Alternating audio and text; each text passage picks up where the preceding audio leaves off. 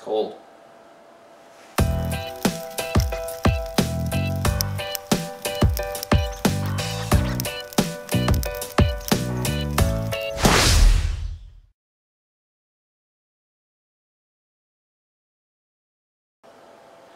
Hey there guys, Chris from Urban Suburban here. I am outside today in the garage slash workshop and I want to talk to you today about saws, particularly this one.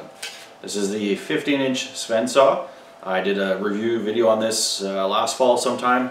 Love this saw. A lot of you guys know this saw. A lot of you guys are like me and you love this saw. However, this saw does have its uh, fair share of criticism and it is fair and mainly it has to do with this little guy here. This wing nut on the end that you have to take on and off to assemble and disassemble this saw. And of course the criticism with that is that you can lose it because you got to take it off. And if you drop that in the bush in the summer or spring or fall, that sucks. If you drop it in the snow in the winter, that really sucks.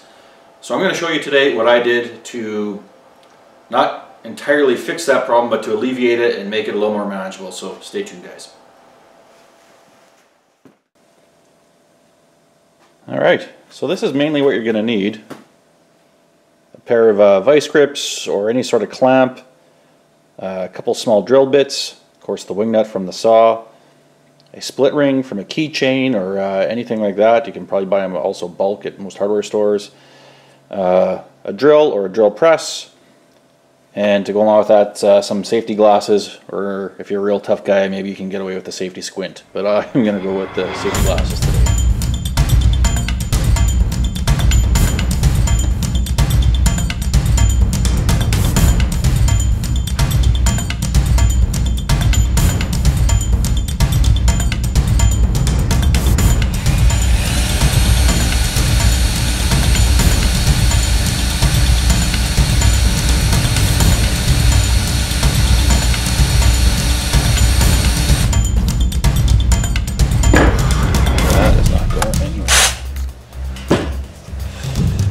Okay then.